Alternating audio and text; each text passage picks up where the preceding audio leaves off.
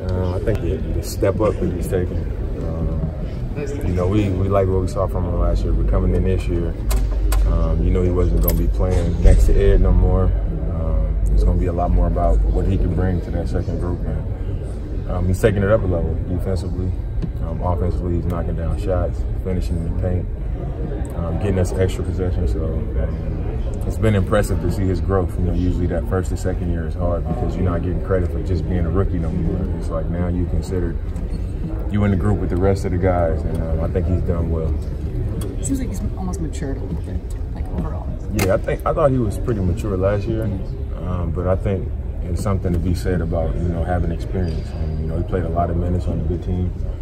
Um, got some playoff experience. You know, had some some good times and bad times, and I think when you get that opportunity, uh, usually you come along a little faster. I think offensively, you know, he's he's gotten better. Just understanding where his offense is going to come from, and um, being prepared to take advantage of those situations. A lot of times, um, he gets a switch, and the guard gets on him. Last year, he was you know off balance and um, kind of taking the, shots that they might have wanted him to take, and you know, just bailing him out. This year, I think he's as soon as he get the switch, he's getting good position, doing his work early. Um, getting the ball underneath the basket, getting layups, um, drawing contact, getting to the free throw line more than he did.